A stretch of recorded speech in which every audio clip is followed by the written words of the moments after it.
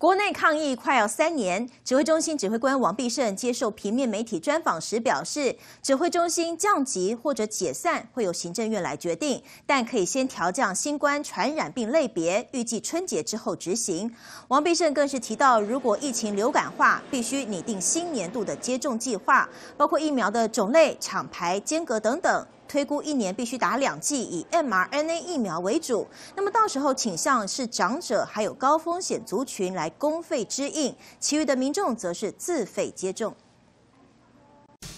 我是肖慧文，您的生活日常从每天收看中视新闻开始，中视新闻陪您度过平凡而充实的每一天。更多新闻也请您锁定中视新闻 YouTube 频道，记得按赞、订阅、分享，还要记得开启小铃铛哦。